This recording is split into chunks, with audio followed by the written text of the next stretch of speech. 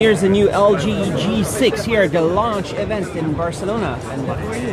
Hi, I'm Tom. I'm from the uh, LG UK team. And uh, so this is a special display right here.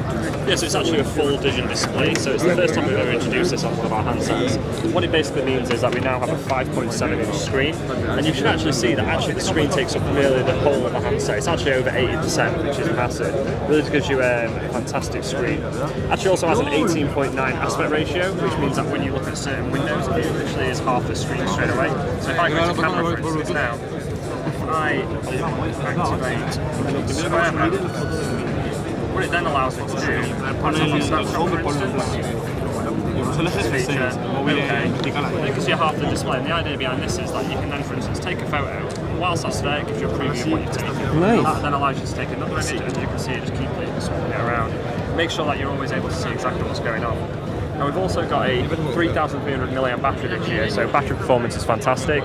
Followed up with obviously one of the best camera experiences we've ever done. So you actually now have two 30 megapixel cameras on the rear. One's a wide angle lens and one's standard. The benefit of that is that you actually get to 120 degrees now, so you can actually see a lot more. And you can do bokeh effect. Say that again, Can you sir? do a bokeh effect where something, somebody is in focus, everything else is out of focus? Yeah, so you can, we have manual focus for that. So if I was to go on square mode again onto manual, you'll then see at the side here we have a auto focus option. So if you tap on this, you can then focus in and focus out and focus exactly what you want. Get the best experience. If you tap on this option up here, for instance, now we're going from standard to wide angle.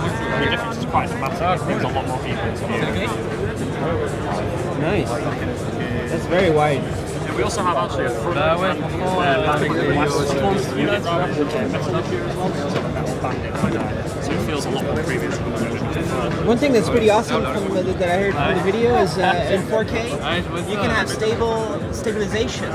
Oh yeah. So there's a stabilization system in there. That's correct, actually. Yeah. So what we It's not optical. It's not optical. It's No, no. So if you actually go into the stabilization options, you can um, you can see the difference. So when you are taking any video content, you'll notice it's a lot more stable than what we've done, um, and you get great detail as well.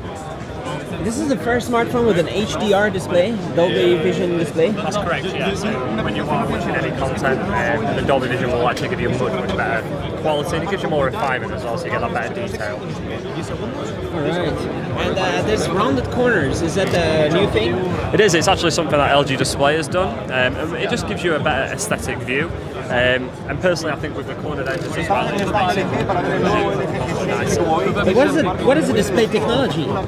Is that uh, some kind of OLED or is it LCD? No, it's, it's an LCD. It's an But how IPS can you make display. rounded? You can easily make rounded. Yeah, L- LG Display have managed to do that for the first time. It's not hiding the corners, no, it's not hiding the corners. No, and it's uh, flat. It's not the curves. It's a completely flat device, so you'll actually see front and back. There's no um, So, like last year, for instance, on G5, the camera had a slight bump to it, whereas this year it's completely flat. And um, so, is it drop proof? Uh, they said it was uh, extra resistance, reliability. Yeah, so from this year's point of view, we are now IP68 rated, so it's dust and water resistant. Um, so it gives you that assurance that you're getting quality. And it, uh, how about breaking the screen if it falls? Is it uh, any new technology about that? Well, we actually use IPS um, technology, so if the screen does actually crack, you'll still be able to use the panel um, until obviously you can get it repaired. All right. And this is the Snapdragon 821. But uh, if you watch uh, 16 by 9 movies, there will be black bars on each side.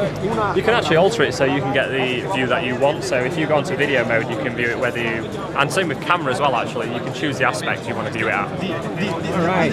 So there it is. Uh, how soon is it available? Um, I think obviously you have to check for your local country, but um, it should be available soon.